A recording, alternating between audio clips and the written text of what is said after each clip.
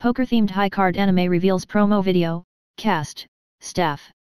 TMS Entertainment unveiled on Wednesday a new visual key for advertising, actors, and staff of the poker-themed high-card multimedia project.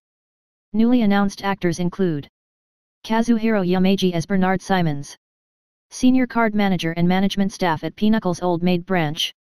He does everything from making tea, cleaning, repairing cars, and passing information to headquarters or on his return. He is also Leo's caretaker.